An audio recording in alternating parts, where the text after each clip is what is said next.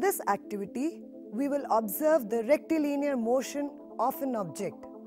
We all know the rectilinear motion of an object is the motion of an object in a straight line or a straight path. For this activity, we need a glass marble, we need poster color and a white sheet. We take a glass marble, put it in a color and it should be thickly coated with the color. Roll it on a white sheet of paper. What do we observe? We observe the movement of the marble in a straight line. This shows that the marble moves in a straight line or a rectilinear motion.